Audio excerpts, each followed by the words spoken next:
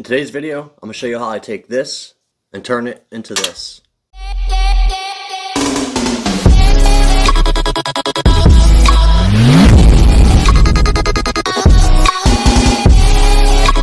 Alright, so before I got started, I went on to Fusion 360 and I built a 3D model of the actual platform that I'm going to build today.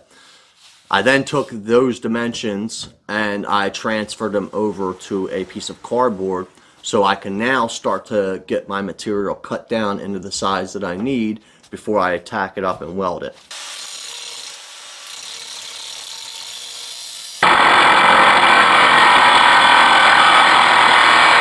Alright, so I have all my pieces cut and as you can see I just kind of laid them out roughly about where they're going. So this is just a, a template. I have all my outside pieces cut. I can now start tacking these together, clean them up, and start tacking them together.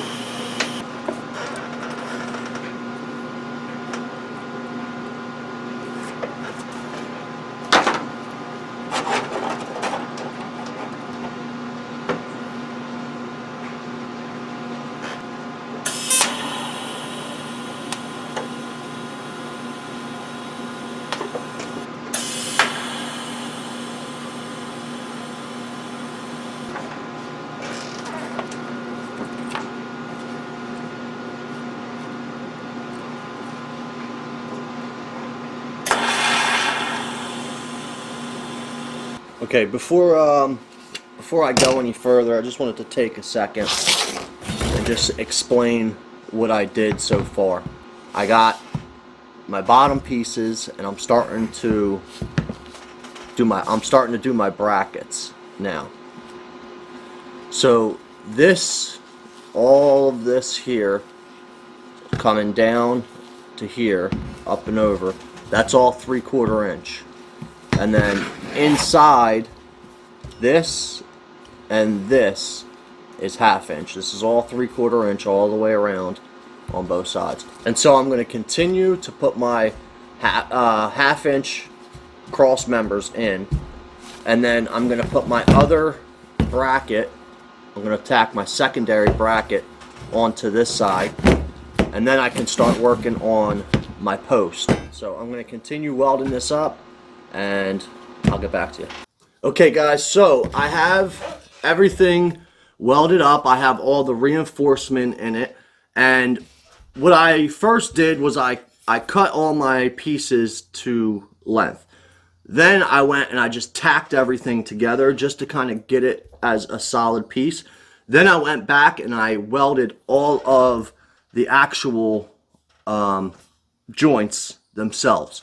I put in reinforcement really just somewhere for my foot to go. Plus it also is going to sturdy up the the stand itself. And so as you can see I have these two brackets for the post. They're welded on as well. So all the reinforcements done the main body is done everything's welded up and it's good to go. I still have to put the teeth on the back here but for now I'm going to set this aside and I'm going to start to work on my post.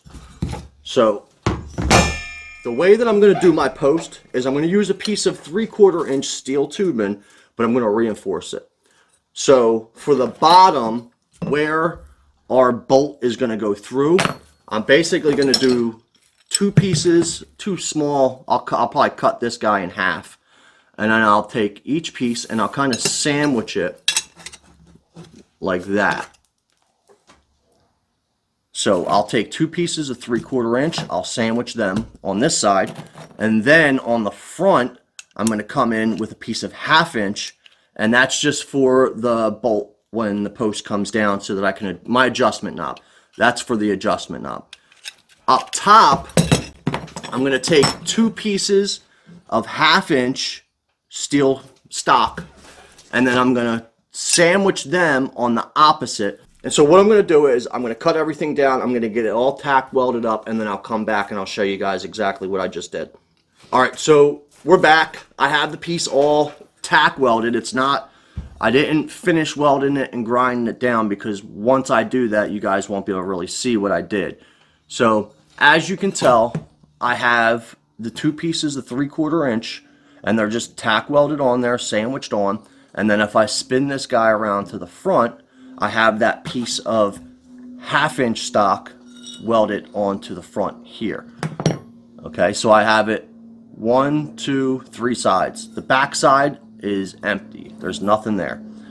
Up top, so as you can see, this is where my three quarter is. If I spin it to the side, I'm going to do my half inch on the other side up there. And the reason why is because when this post, me come back further, when this post is sitting on the platform itself, you're going to have your bolt going through this way, and that's going to be the pivot. That's where it's going to connect to the actual platform itself. But up top, your bracket bolts are going to go the opposite way. And so, as you can see, I've reinforced the top with the half inch, and then I reinforced the bottom with the three quarter, and that's just because this is a lot thicker, and there's going to be a lot of force where this where this meets the platform itself. There's going to be a ton of force there. That's where most of the force is going to be. So I want to reinforce that. I'm also going to do a permanent button on here. I'm going to weld up a permanent permanent button. And instead of explaining that, I'll just I'll just show you guys exactly how I plan on doing that. And so my next step is I'm going to go through and I'm going to attach this all that I just tack welded on. I'm going to weld all of that. Then I'm going to grind this all down and then I'll bring you guys back so we could start working on that button. And the way I'm going to do that is I have a piece of 5 16th inch solid steel pipe or tube and let me show you. So as you can see, there's no hole in it. It's just a piece of solid 5 16th inch steel. Then I'm going to take my 3 quarter inch flat steel stock and I drilled a hole in it to accept that 5 16ths. I'm going to tack weld that and then I'm going to put that through the pipe itself. And then on the other side, I have another piece. I'm going to tack weld this. I still have to round it, um, but I'm going to tack weld that onto the front as well and that's going to basically give me that's going to give me my button. I still need to build the bracket and I think that's what I'm going to do first. I think I'm going to get the bracket set on this and that will dictate where I put my button on here.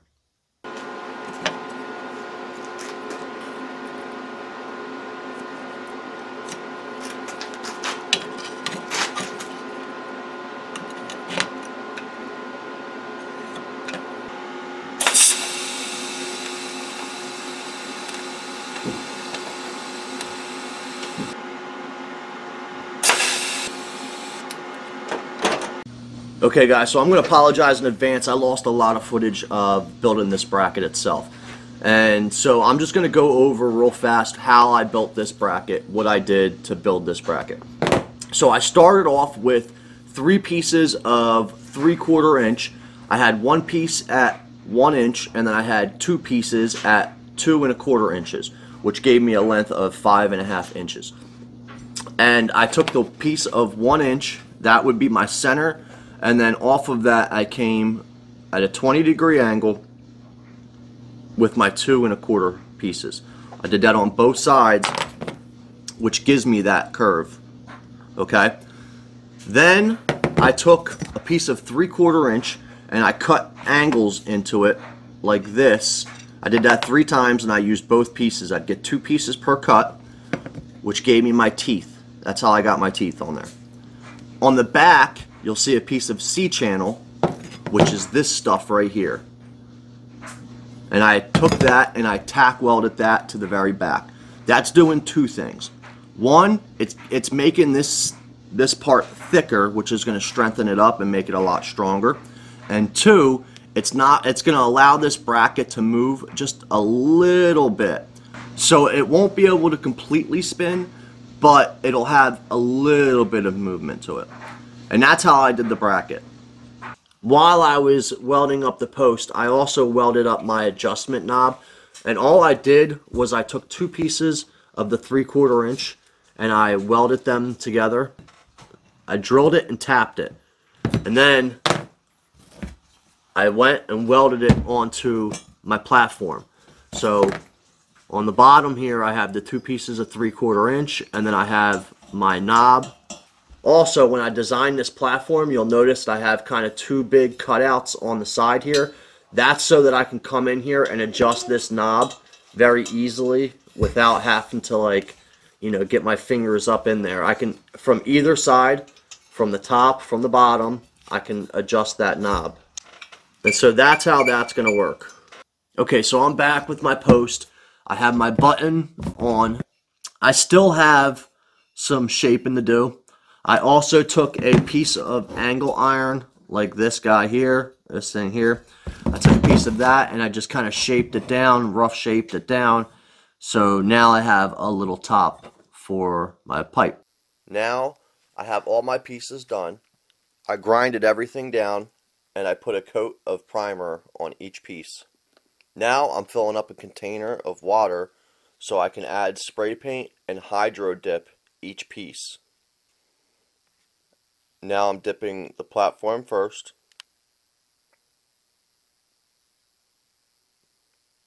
Now I'm going to dip my post.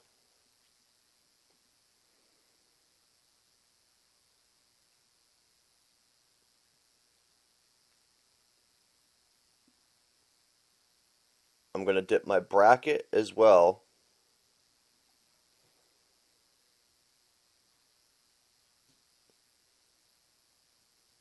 And then to finish off, I dipped my platform again. And I'm really happy with the paint job. So I have all of my pieces painted up, and now we're back at the table and ready for reassembly. I start off with a quarter inch grade 8 bolt and I thread that in for my adjustment knob. I take two bolts and I sandwich the knob in between. Then I take my post, I have my bracket. So as you can see, my teeth are cut at an angle and that's for a reason. It's so it can slide down the tree while I'm camming it and then it can lock in after it's done camming. Next, I take my plastic washer and I slip that in on the one side of the post. I then push my bolt through and slip the other plastic washer on before I finish with a regular washer and a lock nut. I'm using a grade 8 bolt to attach the post to the platform.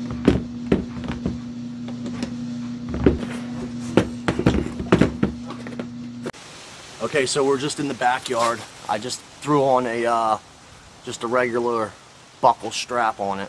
We're gonna slap it on the tree and uh, I try it out, see how well it goes.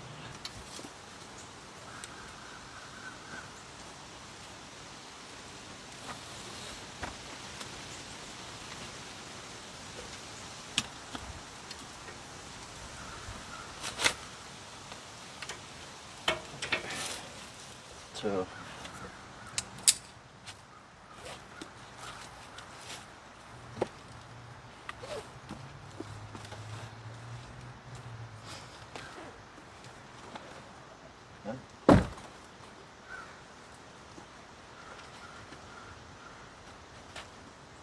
So I got 100% of my weight on it. None of the weight is in the saddle. And it feels solid. Feels good. Um, see side pressure. Oh yeah, easy. Easy. Obviously, because of the fence, I can't do it here, but we're gonna, I'm gonna try to put this on a smaller tree too and see. So let me hop down and let's check it out with the, um, on an angle.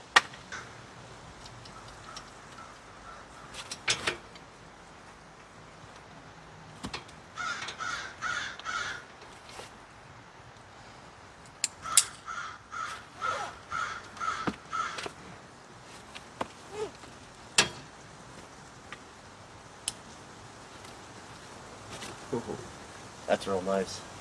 See how it takes side pressure, no problem. Get around.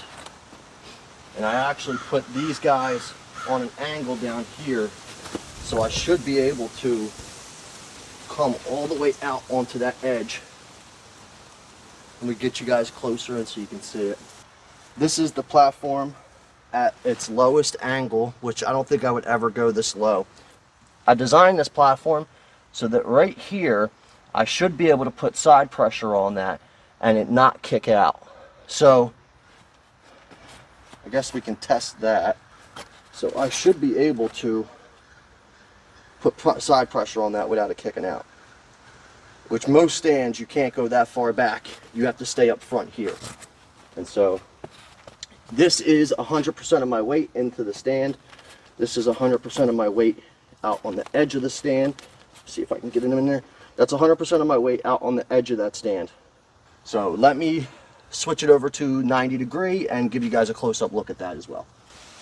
Okay, so that is the platform at 90 all the way out on the edge, 100% weight on the edge of that platform. Okay, so I'm over here at a smaller tree. I got the platform. I'm gonna try to put it on this tree. This tree is a little bit of a wonky tree as well. I don't really have any good trees in the backyard, but so far they haven't been an issue.